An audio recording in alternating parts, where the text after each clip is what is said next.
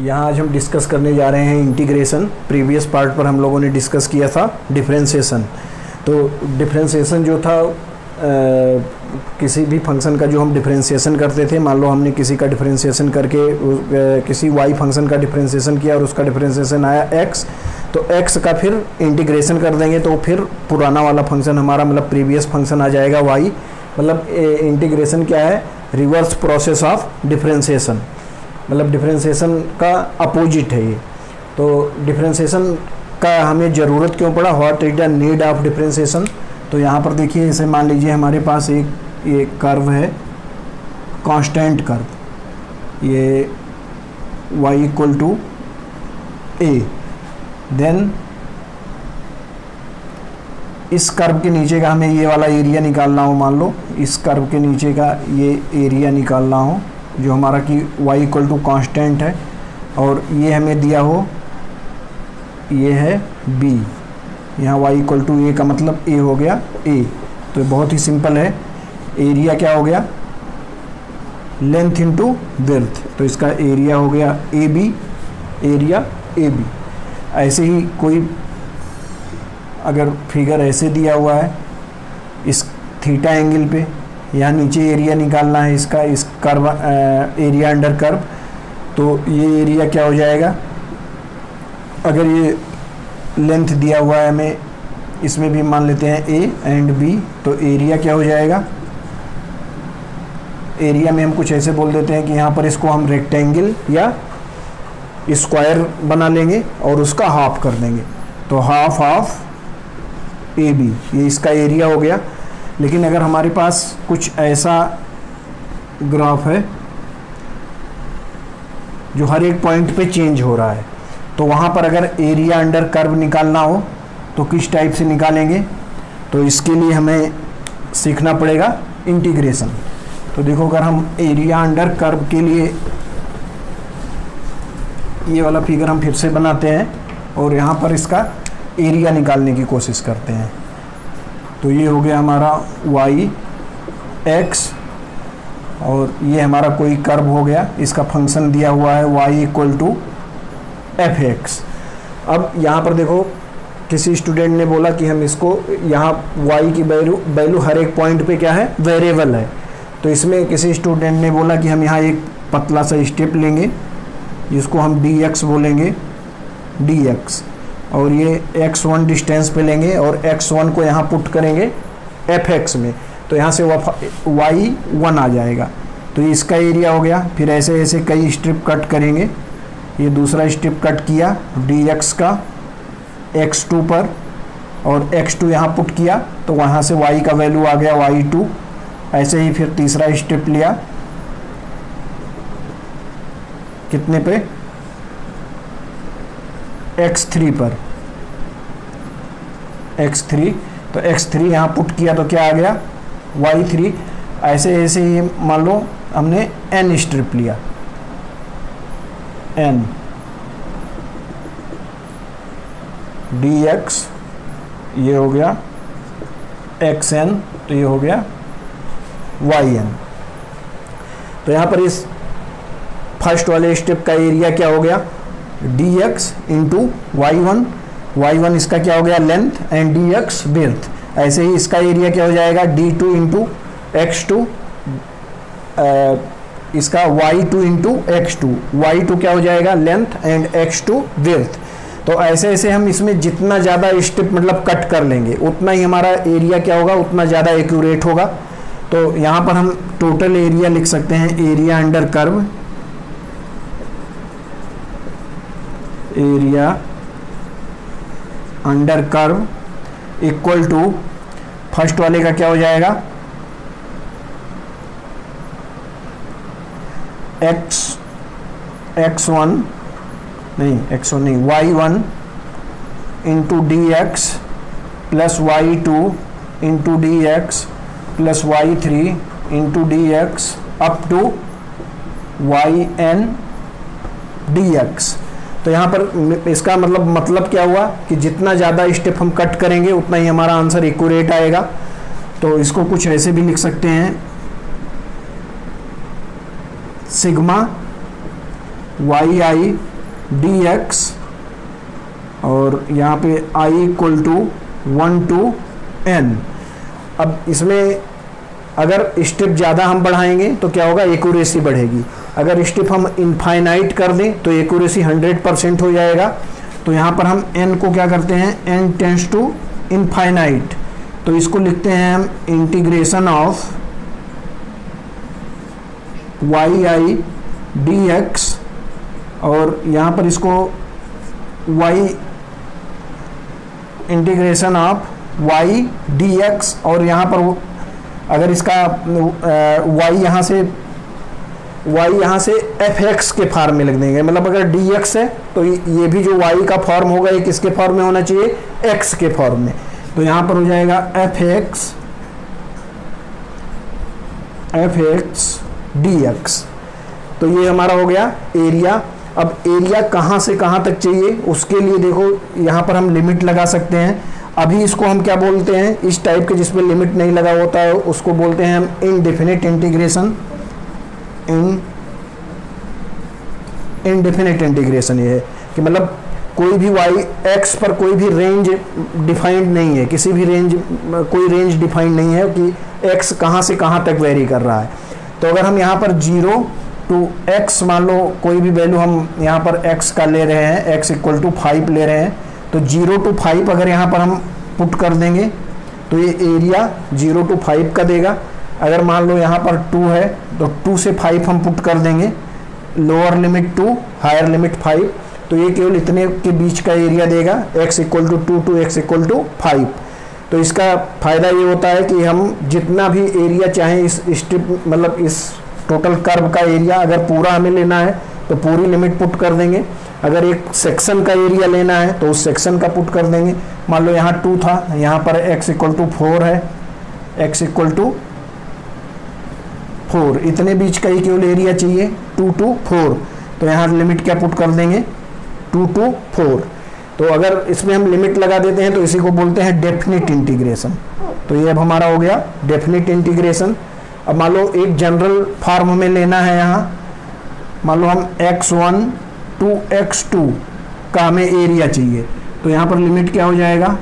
Lower limit x one higher limit x two तो ये हमें कितने के बीच का एरिया देगा? X1 से x2 के बीच का एरिया देगा। तो इस टाइप से इसमें मेन मेन हमारा पॉइंट क्या है कि आप जितना ज़्यादा स्टिप कट करेंगे, उतना एरिया एकट आएगा। तो यहाँ पर हमने एन टेंस टू इनफाइनाइट कर दिया। तो ये फार्मूला तभी इंटीग्रेशन का हमें यूज़ होता है। तो ये फार्मूला आ गया। Integration of y d x मतलब एफ़ एक्स डी एक्स ये मेन फार्मूला है हमारा। अब देखो यहाँ पर इस कर्व का y equal to f x differentiation क्या देता था? D y upon d x d y upon d x इसका फ़ंक्शन आ जाता था एफ़ डैश एक्स मतलब कोई भी एक फ़ंक्शन आता था तो उसमें किसी भी पॉइंट पर एक्स का वैल्यू पुट करते थे तो उस पॉइंट पर क्या आ जाता था? स्लोप मतलब टेन थीटा का वैल्यू यहाँ पर क्या आएगा? यहाँ पर f x f x d x करेंगे तो उस कर्व के नीचे का मतलब एरिया अंडर कर्व का एरिया अंडर कर्व आ जाएगा. मतलब उस कर्व के नीचे का एरिया आ जाएगा। तो ये दोनों में बेसिक डिफरेंस है। ये कर्व का क्या बताता था? स्लोप या एंगल और ये क्या बताता है? कर्व के नीचे का area with x x with x axis तो ये इन दोनों में डिफरेंस है। इसके बाद हम देखते हैं इसके मेन मेन फार्मूले अब यहाँ पर देखिए हम इसके फार्मूले देख रहे हैं। तो first formula x to power n d x ये फार्मूला होता है x to power n plus one मतलब पावर में एक ऐड हो जाएगा और इसी से फिर डिवाइड हो जाएगा। ये तो ये मेन इंपॉर्टेंट फार्मूला है, एक बहुत ज़्यादा यूज़ होगा, हर जगह ये लगभग यही यूज़ होता है ज़्यादातर। और यहाँ पर एक कंडीशन आता है n not equal to minus one not equal to minus one क्यों? अगर यहाँ माइनस वन पुट कर देंगे हम तो ये minus one plus one zero हो जाएगा और ये अनडिफाइंड हो जाएगा। तो इसलिए ये n equal to n not equal to यहाँ पर माइनस वन होता है। मतलब n equal to minus one नहीं हो सकता है। बाकी हर वैल्यू के लिए ये वैलिड है। तो ये हमारा फ़र्स्ट फार्मूला हो गया। अब इस पर हम कुछ एग्ज़ाम्पल देख लेते हैं। इसे मान लो है एक्स क्यूब डी एक्स तो यहाँ पर इसका इंटीग्रेशन क्या हो जाएगा? X cube plus one upon three plus one तो ये हो गया एक्स पर फोर बाई फोर अब यहाँ पर देखिए, ये इनडेफिनिट इंटीग्रेशन है, कोई भी लिमिट नहीं लगा हुआ है। तो यहाँ पर हम क्या करेंगे? प्लस सी एक लगा देंगे, अगर इनडेफिनिट इंटीग्रेशन है। अगर डिफिनिट इंटीग्रेशन है तो उसमें कुछ भी नहीं लगाएँगे। अब जैसे मान लो हमारे पास एक इंटीग्रेशन है एक्स स्क्वायर डी एक्स और यहाँ लिमिट लगा हुआ है वन टू टू तो ये क्या हो जाएगा? X cube by three limit one to two तो ये हो गया टू यहाँ पुट करेंगे एक्स की जगह पर तो two cube minus one cube divided by three तो ये हो गया nine minus one by three तो ये हो गया एट बाई थ्री। तो इस टाइप से अगर हमारे पास डेफिनेट इंटीग्रल हो, इसमें सी नहीं लगाएँगे, डेफिनेट इंटीग्रल में इसमें लिमिट लगाएँगे। तो ये अगर डेफिनेट इंटीग्रल हो तो इस टाइप से हम इसको सॉल्व कर सकते हैं। अब यहाँ पर देखो हमने प्लस पावर का ले लिया। अब एक माइनस पावर का भी ले लेते हैं। तो माइनस वन तो ले नहीं सकते हैं। हम ले रहे हैं एक्स पर माइनस हाफ़ डी एक्स तो यहाँ पर क्या हो जाएगा? एक्स पर minus half plus one upon minus half plus one तो ये हो गया x to power half upon plus one यहाँ पर होगा। तो ये अपान हाफ़ तो ये हो गया two x to power half इसको क्या लिख सकते हैं? टू रूट एक्स तो अगर हमने माइनस में एक्स लिया तो कुछ इस टाइप से आंसर आ जाएगा। एक दो एग्ज़ाम्पल और ले लेते हैं इसमें। मान लो x minus two d x x to power minus two d x तो ये क्या हो जाएगा? X to power minus one plus one upon minus two plus one तो यहाँ से आ गया माइनस वन तो ये minus one into x to power minus x to power minus one upon minus one तो ये हो गया माइनस वन बाई एक्स तो इस टाइप से प्लस सी अगर यहाँ पर इंडेफिनिट इंटीग्रल है तो प्लस सी तो इस टाइप से इसका इंटीग्रेशन हो गया। तो इस, और अगर प्लस माइनस कहीं पर है, जैसे मान लीजिए two x square plus three x plus one ऐसे है, इंटीग्रल देन डी एक्स तो इसमें मल्टीप्लाई कर लेंगे इसके अंदर टू बाहर कर लेंगे टू कांस्टेंट है तो two x square d x plus integral three बाहर and x d x plus one तो यहाँ पर वन ही है तो डी एक्स ये ब्रेकेट है, इसको थोड़ा सही कर लीजिए। ठीक है? तो यहाँ पर देखो two x x square d x x cube by three one यहाँ ऐड हुआ, उसी से डिवाइड हो गया प्लस थ्री एक्स एक्स का क्या होगा x square by two plus d x d x का देखो क्या होता है डी एक्स को हम ऐसे लिख सकते हैं, यहाँ पर देख लो डी एक्स को क्या लिख सकते हैं x to power one d x या इसी को क्या लिख सकते हैं x to power zero d x तो यहाँ पर क्या हो गया? X to power zero plus one upon zero plus one मतलब x टू पावर वन तो ये हो गया x. तो यहाँ से लिखते हैं integral of d x equal to x तो ये integral of d x equal to x हो गया प्लस सी तो ये यहाँ पर आंसर आ गया इस वाले क्वेश्चन का. और ये आंसर था इस वाले क्वेश्चन का। तो अगर प्लस माइनस हो, अगर यहाँ माइनस होता, किसी भी पॉइंट पे माइनस होता तो यहाँ माइनस हो जाता तो प्लस माइनस से कोई प्रॉब्लम नहीं है। यहाँ माइनस एक्स हो जाता, यहाँ माइनस होता तो यहाँ भी माइनस हो जाता।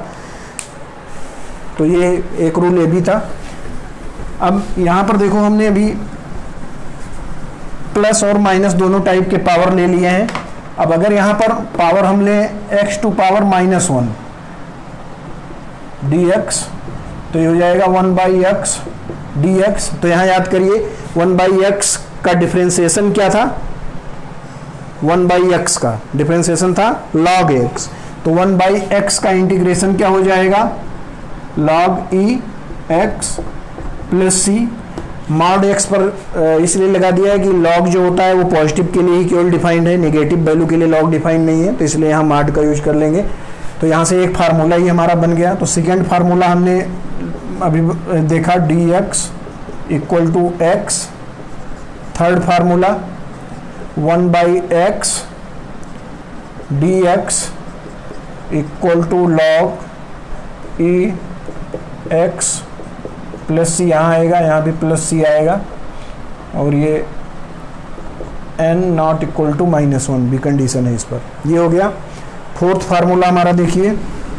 फोर्थ फार्मूला हमारा है इंटीग्रल ऑफ़ ई पर एक्स डी एक्स तो ये ई पर एक्स क्या था? इसका डिफ्रेंसिएशन क्या था? ई पर एक्स तो यहाँ इंटीग्रेशन भी इसका क्या होता है? ई पर एक्स प्लस सी तो ये हमारे मेन मेन फार्मूले चार फार्मूले ये हमारे मेन है। इसके बाद कुछ आ, आ, इसके बाद कुछ ट्रेग्नोमेट्रिक फार्मूले हैं उसको हम देखेंगे। तो नेक्स्ट फार्मूला देखिए। यहाँ पर देखिए, हम फार्मूला ले रहे हैं साइन एक्स डी एक्स तो साइन एक्स डी एक्स का क्या होगा? Cos x cos x cos x का जो है हमारा डिफ्रेंसिएशन क्या होता था? माइनस साइन एक्स तो यहाँ पर साइन एक्स का इंटीग्रेशन क्या होगा? Minus cos x plus c यहाँ पर देखिए कॉस एक्स डी एक्स का इंटीग्रेशन तो कॉस एक्स का होगा sine x plus c sine x का डिफ्रेंसिएशन क्या होता था? कॉस एक्स तो कॉस एक्स का इंटीग्रेशन होगा साइन एक्स ऐसे ही sec square x d x तो ये किसका डिफ्रेंसिएशन होता था? टेन एक्स का। तो यहाँ पर हो जाएगा tan tan x plus c tan x का डिफ्रेंसिएशन क्या होता था? सेक स्क्वायर एक्स तो सेक स्क्वायर एक्स का इंटीग्रेशन क्या हो जाएगा? टेन एक्स ऐसे ही देखिए कॉट स्क्वायर एक्स तो कॉट कॉसेक स्क्वायर एक्स यहाँ पर ये किसका डिफ्रेंसिएशन होता था? कॉट एक्स कॉट एक्स का डिफ्रेंसिएशन होता था सेक स्क्वायर एक्स तो सेक स्क्वायर एक्स का इंटीग्रेशन हो जाएगा कॉट एक्स ऐसे ही सेक एक्स टेन एक्स तो ये सेक एक्स का सेक एक्स जो है सेक एक्स का डिफ्रेंसिएशन होता था सेक एक्स टेन एक्स तो सेक एक्स टेन एक्स का इंटीग्रेशन हो जाएगा सेक एक्स ऐसे ही कॉसेक एक्स कॉट एक्स तो ये किसका डिफ्रेंसिएशन होता था? Cosec x cosec x plus c इसका डिफ्रेंसिएशन होता था. अब यहाँ पर देखिए, वहाँ पर जहाँ जहाँ राइट हैंड साइड जहाँ जहाँ लेफ़्ट हैंड साइड में सी ओ आता था, वहाँ हम माइनस लगा के आगे लिखते थे. मतलब कॉस का माइनस साइन तो यहाँ पर जहाँ जहाँ सी राइट हैंड साइड में आ रहा है, वहाँ वहाँ माइनस लगा देंगे। तो यहाँ माइनस आ गया याद रखने के लिए बता रहे हैं। और यहाँ माइनस हो गया। तो ये cosec square x cot x minus cot x cot x का क्या आता था differentiation minus cosec square x ऐसे ही ऐसे ही कॉ कॉसिक एक्स का डिफ्रेंसिएशन क्या आता था? Minus cosec x cot x तो कॉसेक एक्स कॉट एक्स का इंटीग्रेशन क्या हो जाएगा? माइनस कॉस कॉसेक एक्स तो यहाँ पर तीन जगह पर माइनस आएगा। सी ओ जहाँ जहाँ सी ओ आ रहा है, वहाँ वहाँ माइनस आएगा। और कौन से साइड में? राइट हैंड साइड में। जबकि डिफ्रेंसिएशन में हम क्या देखते थे? लेफ़्ट हैंड साइड में। जहाँ जहाँ सी ओ से शुरू होता था तो हम माइनस लगा के लिखते थे। ठीक है? तो ये आई थिंक फार्मूला सबको क्लियर होगा। अब हम लोग कुछ एग्ज़ाम्पल देखेंगे। तो आगे देखिए एग्ज़ाम्पल यहाँ पर देखिए पहले हम एग्ज़ाम्पल देखने से पहले एक और फार्मूला पढ़ लेते हैं इंटीग्रेशन बाई पार्ट्स तो इंटीग्रेशन बाई पार्ट्स में जैसे मान लो दो पार्ट्स में कोई है और वो मल्टीप्लाई के टर्म में है तो यू बी जैसे उसमें यू बी मेथड होता था ऐसे ही मान लो इसमें यू डॉट बी मतलब यू मल्टीप्लाइड बाई बी है तो इसका इंटीग्रेशन कर, कैसे करेंगे? तो इसमें यू को पहले ऐसे ही लिख देते हैं and integration of b d x minus integration and u का डिफ्रेंसिएशन फ़र्स्ट टर्म का डिफ्रेंसिएशन तो d u upon d u upon d x और यहाँ पर एक ब्रेकेट लगाते हैं integral of b d x और इस पूरे ब्रेकेट का, इसके बाद डी एक्स मतलब इंटीग्रेशन तो ये हमारा फार्मूला है। ये इंपॉर्टेंट फार्मूला है। इंटीग्रेशन के लिए, जब हमारे पास दो फ़ंक्शन मल्टीप्लाई हो रहे हों। ये है फ़र्स्ट फ़ंक्शन ये है second function u, b d x d u upon d x b d x और फिर इस पूरे ब्रैकेट का डी एक्स तो इसमें इसको बोलते हैं फ़र्स्ट फ़ंक्शन इसको बोलते हैं सेकेंड फ़ंक्शन इसको ऐसे भी लिख सकते हैं फ़र्स्ट एंड सेकेंड इसको शार्ट में ऐसे भी लिख सकते हैं first function integration of second function minus differentiation of first first function I dash का मतलब डिफ्रेंसिएशन तो differentiation of first function into integration of second function then whole function का इंटीग्रेशन तो इसको अगर शार्ट में लिखना हो तो कुछ इस टाइप से लिखते हैं। अब इसमें ये फ़र्स्ट फ़ंक्शन और सेकेंड फ़ंक्शन कौन सा होता है, इसको हम एग्ज़ाम्पल से देखते हैं। तो मान लो हमारे पास एग्ज़ाम्पल है e to power x multiplied by x into d x तो यहाँ पर देखो फ़र्स्ट फ़ंक्शन कौन सा होगा सेकेंड फ़ंक्शन कौन सा होगा, इसको हम फाइंड करते हैं आई लेट से। ILATE I equal to inverse function L equal to logarithmic function A equal to algebraic function T equal to trigonometric function E equal to exponential function तो सबसे पहले जो फ़र्स्ट फ़ंक्शन होगा वो inverse function होगा। तो इसमें देखिए, इनवर्स फ़ंक्शन इनवर्स फ़ंक्शन नहीं है तो फ़र्स्ट फ़ंक्शन हमारा इसके नेक्स्ट वाला होगा। तो नेक्स्ट कौन सा है? Logarithmic function. लॉगर्थमिक फ़ंक्शन भी इसमें नहीं है तो लॉगर्थमिक फ़ंक्शन अगर नहीं है तो उसके और आगे चलेंगे तो एलजेब्राइक फ़ंक्शन तो एलजेब्राइक क्या हो गया? फ़र्स्ट फ़ंक्शन हमारा। तो एलजेब्राइक फ़ंक्शन इसमें है तो ये हो गया फ़र्स्ट। एंड टेग्नामेट्रिक फ़ंक्शन नहीं है एक्सपोनेंशियल तो एक्सपोनेंशियल क्या हो गया? सेकेंड फ़ंक्शन हमारा। तो इसको ऐसे लिख लेंगे x e x d x अब ये हो गया हमारा फ़र्स्ट ये हो गया सेकेंड अब इसका हमें इंटीग्रेशन करना है। तो first first function as it is तो ये हो गया एक्स इंटीग्रेशन आप सेकेंड फ़ंक्शन तो ई पर power x d x minus फिर ब्रेकेट फ़र्स्ट फ़ंक्शन का डिफ्रेंसिएशन तो d x upon d x into integration of second function तो e to power x d x and whole integration तो ये हो गया x और प्लस सी भी आ जाएगा। तो x e to power x का इंटीग्रेशन क्या होगा? e to power x into e to power x x पहले ही है हमारा तो e टू पावर x का e to power x minus integration of d x upon d x one into e to power x d x ये वाला D x यहाँ आ गया।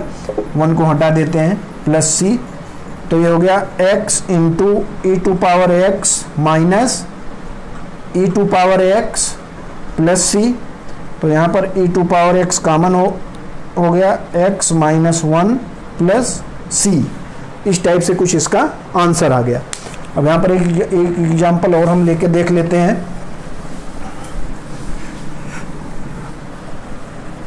जैसे मान लो अगर हमारे पास हो x cos x cos x d x तो यहाँ भी देखो मल्टीप्लाई करके हमने लिखा हुआ है। अब यहाँ पर देखो फ़र्स्ट फ़ंक्शन कौन सा होगा? इनवर्स नहीं है लॉगर्थमिक नहीं है एलजेब्राइक तो एलजेब्रिक फ़ंक्शन ये फ़र्स्ट हो गया। देन टेग्नामेट्रिक तो टेग्नामेट्रिक ये सेकेंड फ़ंक्शन हो गया। अब इसको फिर वैसे ही लिखेंगे। पहले फ़र्स्ट फ़ंक्शन तो first function x into integration of second function तो cos x cos x का क्या होगा इंटीग्रेशन लिख लेते हैं। cos x dx minus first function का डिफ्रेंसिएशन तो d x upon d x into integration of cos x d x और यहाँ से होल डी एक्स तो ये हो गया एक्स कॉस एक्स का integration sine x minus integration of d upon d x one cos x का sine x तो ये हो गया साइन एक्स और ये बाहर से आ गया डी एक्स तो ये वन यहाँ से हटा दिया हमने। अब ये हमारे पास आ गया x sine x cos x sine x का क्या हो जाएगा? माइनस कास एक्स तो ये माइनस माइनस कॉस एक्स यहाँ प्लस सी भी आएगा तो प्लस सी तो यहाँ से क्या आ गया?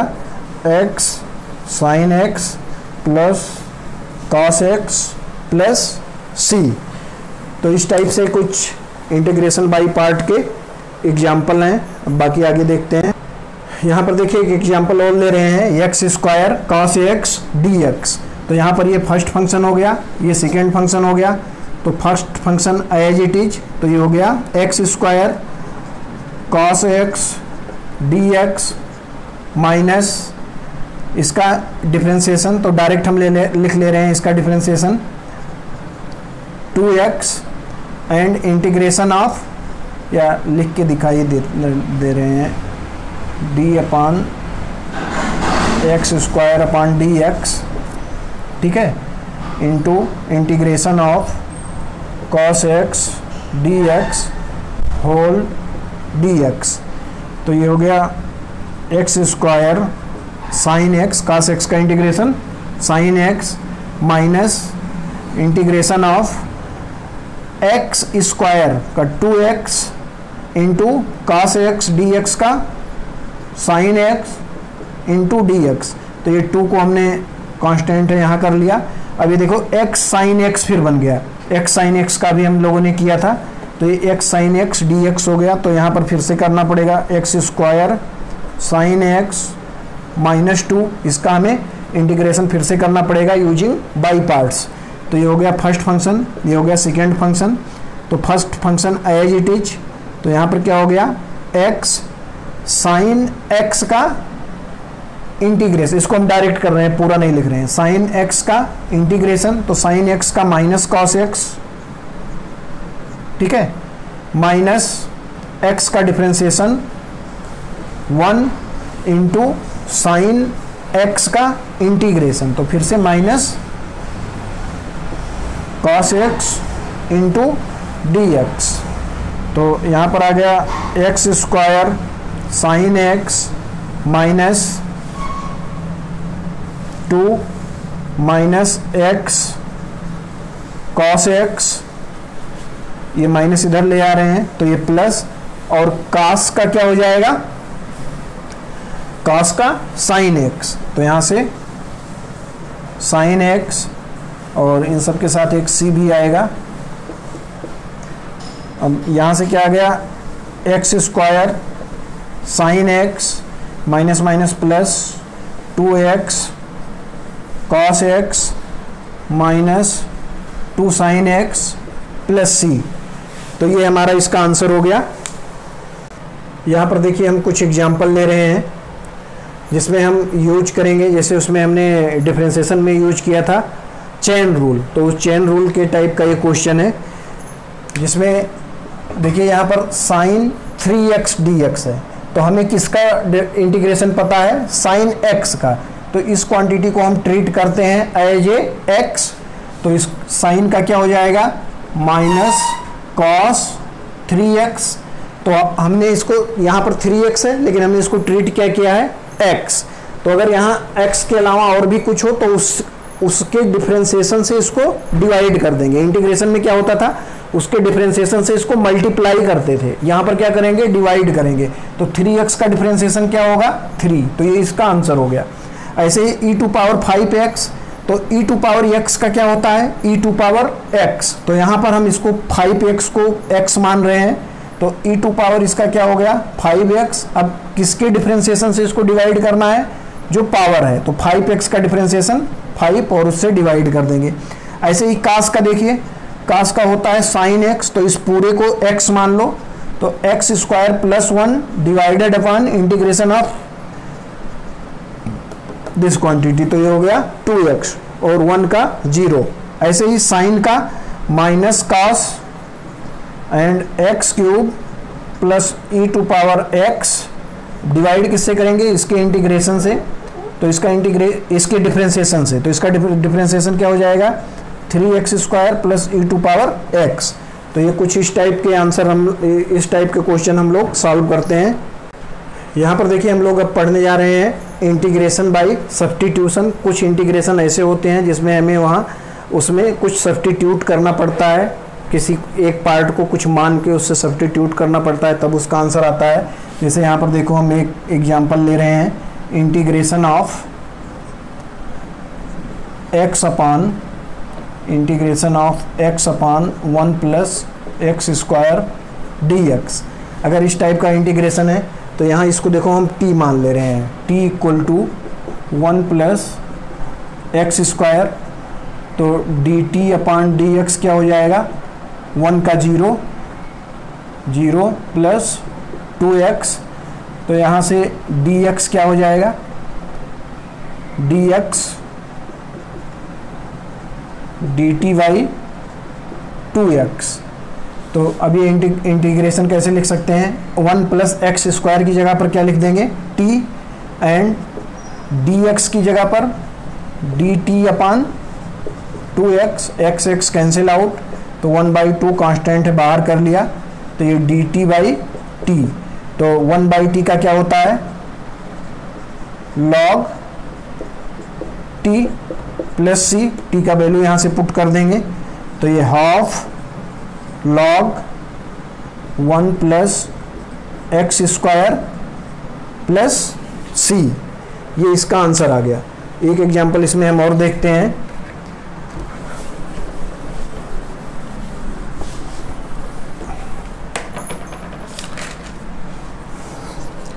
तो एक एग्जांपल और देखते हैं। Sine log x by x integral of dx. तो यहाँ पर देखिए, log x को हम t मान लेते हैं तो ये हो गया t equal to log x तो ये d t upon d x log x का क्या होता है? वन बाई एक्स तो यहाँ से डी एक्स क्या आ गया? एक्स डी टी तो यहाँ पर हो गया sine log t upon x d x क्या हो गया? X d t x x cancel out तो अब ये क्या हो गया? Sine t d t sine t d t अब साइन का क्या होता है? माइनस कॉस तो minus cos t plus c और यहाँ से टी का वैल्यू यहाँ पुट करेंगे। तो ये हो गया t cos log x plus c तो ये हमारा हो गया integration of by integration by part अब यहाँ पर देखिए हमने मेन मेन इंटीग्रेशन जो हमारे फिजिक्स में जिसका ज़्यादातर यूज़ होता है, उसको हमने नेर अबाउट सीख लिया है। बाकी कुछ एग्जांपल जो और हम लोगों को फिजिक्स में मिलेंगे, उस समय हम लोग उस पर डिस्कसन करेंगे। तो मेनली इंटीग्रेशन का फीलिंग किस लिए आना चाहिए कि आपको कोई भी वेरिएबल अगर क्वांटिटी है, उसको हमें अगर निकालना है तो कोई भी वेरिएबल हो सकता है फोर्स वेरिएबल हो सकता है वेलोसिटी एक्सेलरेशन कुछ भी एरिया वेरिएबल कुछ भी जहाँ वेरिएबल आएगा, वहाँ इंटीग्रेशन आएगा। तो इसका फील कराने के लिए हम, जैसे मान लो, ये सब लोगों को पता है कि ये एक सर्किल का एरिया क्या होता है। Pi r square. लेकिन पाई आर स्क्वायर सब लोगों ने रट लिया, लगभग नाइन्टी परसेंट लोगों ने ये नहीं सोचा होगा कि पाई आर स्क्वायर आया कहाँ से है। तो इस पाई आर स्क्वायर को निकालने के लिए हमारे पास ये सर्किल का कर्व है, जो एफ़ एक्स होता था। यह है x square plus y square equal to r square. R इसका रेडियस है, ठीक है? अब इसमें देखो, इसको कई टाइप से आप निकाल सकते हो। पूरे में स्टेप कट कर लो, यहाँ से लेके यहाँ तक स्टेप कट कर लो और इसको माइनस आर से प्लस आर तक इंटीग्रेट कर दो या केवल एक पार्ट का निकाल लो और इसको, इसका फोर टाइम्स कर दो मतलब फोर पार्ट है तो इसका फोर टाइम्स कर दो, ठीक है? तो सबसे इजी जो होता है वो एक पार्ट का निकाल के उसका फोर टाइम करना ये सबसे ज़्यादा इजी होता है। तो हम अभी इजी भी में बता रहे हैं, इसका एक पार्ट का हम एरिया निकालेंगे और उसको फोर टाइम्स कर देंगे। तो यहाँ पर देखो, यहाँ पर मान लिया हमने इसका स्ट्रिप कट किया, ये एक्स पर कट किया डी एक्स एक्स डिस्टेंस पर डी एक्स ये कट किया एक्स डिस्टेंस पर डी एक्स ठीक है? अब देखो, x अगर इस पार्ट का निकाल रहे हैं तो x बैरी कहाँ से कहाँ तक कर रहा है? ज़ीरो टू आर तो लिमिट क्या हो जाएगा? ज़ीरो टू आर और ये वाले लेंथ को हम क्या मान ले रहे हैं? वाई इस लेंथ को वाई तो इस स्ट्रिप का एरिया क्या हो गया? Area integral of y into d x और यहाँ limit zero to r y into d x limit zero to r ये किसका एरिया हो गया? इस वाली पार्ट का एरिया हो गया। इस रेड वाले पार्ट का। तो इसका एरिया हम निकाल के उसके बाद फोर से मल्टीप्लाई कर देंगे तो पूरा एरिया आ जाएगा। Y dx अब हमें y चाहिए in the function of x तो वाई यहाँ से निकाल लेते हैं। X square plus y square बराबर आर स्क्वायर तो y square equal to r square minus x square तो y क्या हो जाएगा? R square root of r square minus x square तो यहाँ पर आ गया, y क्या आ गया? R square minus x square d x zero to r अब यहाँ पर हमें इसका क्या करना है? इंटीग्रेशन तो ये इंटीग्रेशन ये यूजिंग होगा। इंटीग्रेशन इंटीग्रेशन बाय सब्सटीट्यूशन तो सब्सटीट्यूशन से इंटीग्रेशन होगा। जब आप लोग इंटीग्रेशन करने लगोगे तो आपको आइडिया हो जाएगा कि कहाँ पे किस से सब्सटीट्यूट करना है। तो यहाँ पर इसको सब्सटीट्यूट करना है x equal to r sine theta तो यहाँ से हो गया d x upon d theta equal to r cos theta sine theta का डिफ्रेंसिएशन कॉस थीटा तो यहाँ से डी एक्स इक्वल टू क्या हो गया?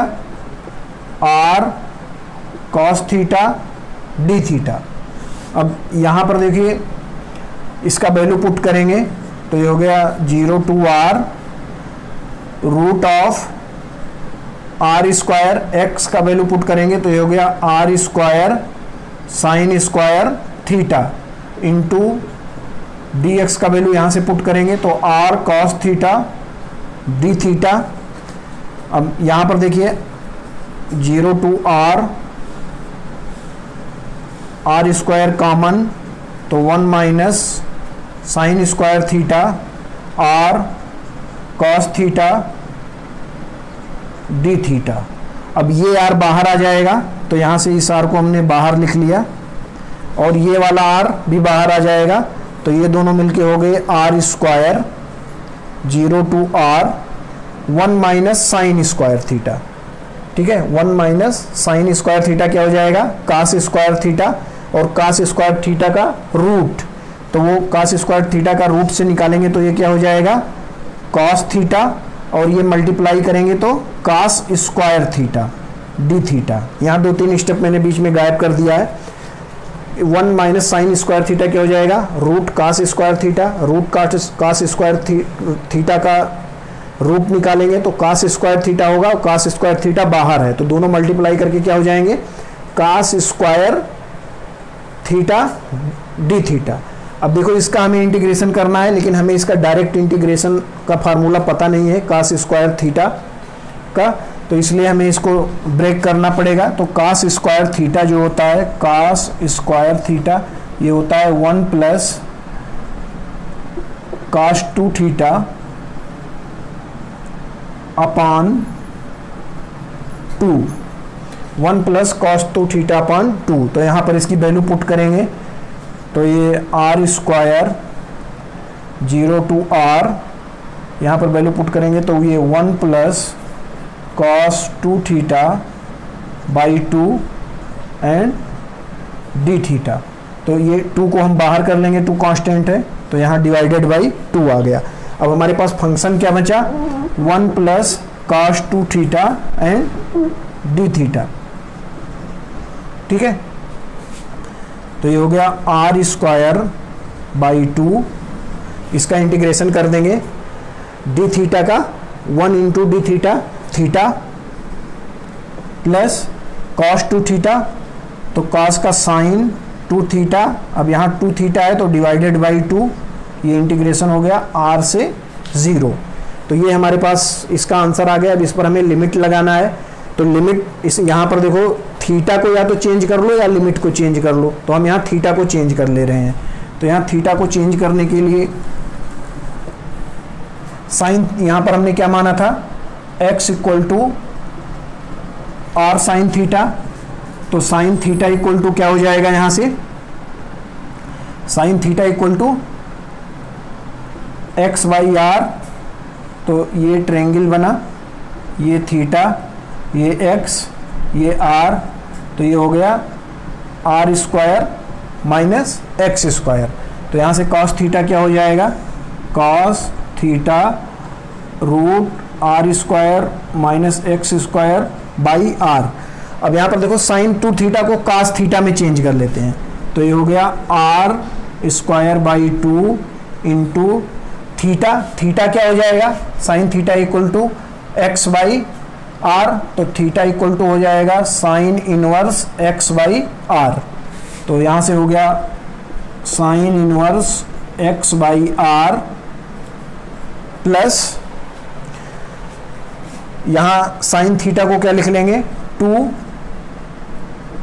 देखो यहाँ मैं sine theta sine theta by two का यहाँ पर चेंज करके लिख ले रहे हैं sine two theta by two ये हो जाएगा two sine theta cos theta by two.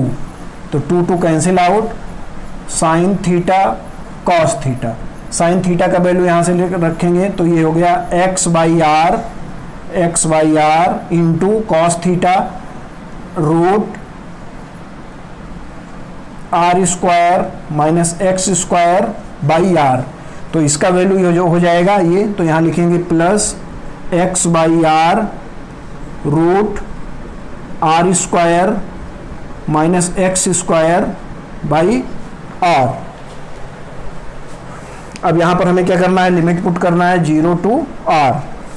तो यहाँ पर लिमिट पुट करते हैं आर स्क्वायर बाई टू। अब देखो, आर यहाँ पुट करेंगे तो ये हो जाएगा sine inverse r by r मतलब वन। तो साइन इनवर्स वन क्या होता है?